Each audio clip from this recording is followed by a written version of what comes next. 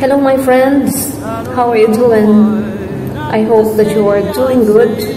Stay safe and healthy always. In today's video, I am going to share with you the topic about my brother's death due to COVID-19. I'd like to share this story with you uh, to serve as a piece of advice that although we got fully vaccinated, it doesn't mean that we are that we are very strong against uh, COVID-19. So uh, my brother sent me his uh, photo after his vaccination, second dose, and he was very proud really that he got vaccinated.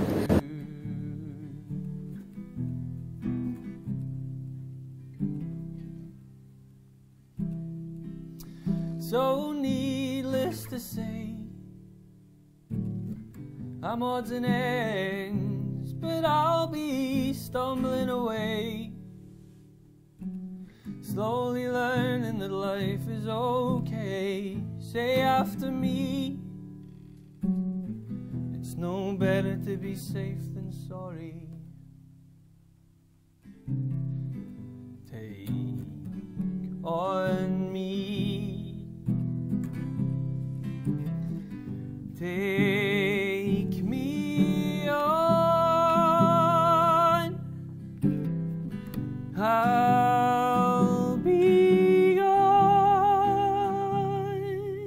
On September 9, 2021, In a day he was rushed to the hospital due to his uh, complaint of uh, being weak.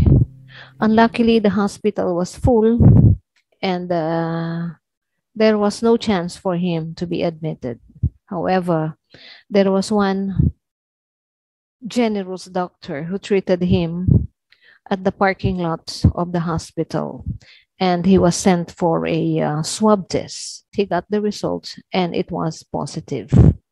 On the same day, before he uh, left the hospital, he was given some treatment like uh, oxygen and um, he was given IV fluids and he was sent for, a, for an x-ray.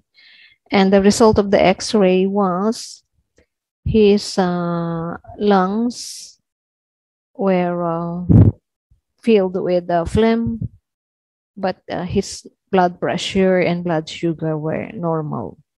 On day three, that was September 11, his oxygen level was fluctuating. Sometimes it, it reaches to uh, 82, and sometimes it's uh, 65, between 65 and 67.